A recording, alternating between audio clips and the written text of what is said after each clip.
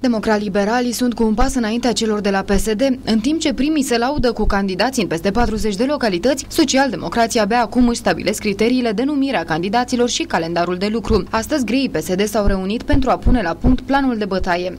Astăzi, în schimb, dacă vreți, se uh, trasează principalele sau ideile după care vom merge în nominalizarea candidaților. Asta deja cunoașteți, o împărțire a localităților a fost făcută.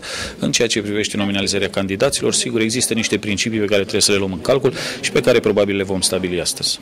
Odată cu finalizarea listelor de candidați USL, PSD și PNL vor confrunta candidații, iar acolo unde va fi cazul ca un partid să aibă un candidat mai bun, chiar dacă localitatea respectivă le revine partenerilor, se va face schimbul de oameni.